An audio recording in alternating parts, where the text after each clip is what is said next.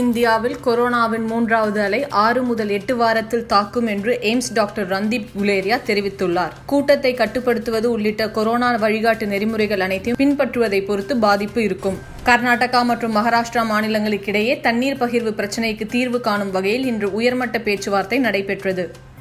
இதில் இரு மாநிலங்களிலும் வறட்சியால் பாதிக்கப்பட்ட பகுதிகளில் வெள்ள மேலாண்மை மற்றும் தண்ணீர் வழங்குவதற்காக சிறந்த ஒருங்கிணைப்பு மற்றும் தகவல்களை பகிர்ந்து கொள்ள முடிவு செய்யப்பட்டது. தமிழகத்தில் ஊரடங்கை நீட்டிப்பது குறித்தும் தளர்வுகள் குறித்தும் மருத்துவ நிபுணர் குழுவுடன் முதலமைச்சர் மு ஸ்டாலின் ஆலோசனை நடத்தினார்.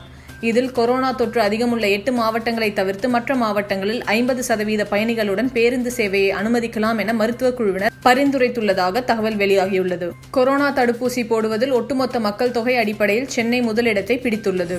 நீட் தேர்வால் ஏற்படும் பாதிப்பு குறித்து அரசு அமைத்துள்ள குழுவிடம் தெரிவிக்கும்படி பெற்றோர் மற்றும் மாணவர்களுக்கு நடிகர் சூர்யா வேண்டுகோள் விடுத்துள்ளார். மாணவர்களின் நலனுக்கும் மாநில நலனுக்கும் நீட் போன்ற நுழைவுத் தேர்வுகள் ஆபத்தானவை என்றும் அவர் கூறியுள்ளார். பெண்கள் மற்றும் குழந்தைகள் குறித்து ஆபாசமாக பேசி தனது யூடியூபில் வீடியோ வெளியிட்டு வந்த மதனை போலீசார் கைது செய்து தீவிர விசாரணை நடத்தினர். விசாரணைக்கு பிறகு இன்று அவர் சைதாப்பேட்டை நீதிமன்றத்தில் ஆஜர்படுத்தப்பட்டார். அவரை பதினான்கு நாட்கள் நீதிமன்ற காவலில் வைக்கும்படி நீதிபதி உத்தரவிட்டார். கொரோனா குறைய தொடங்கிய பல்வேறு நாடுகளில் உருமாற்றம் அடைந்த வைரஸ் பரவியது கண்டறியப்பட்டுள்ளது.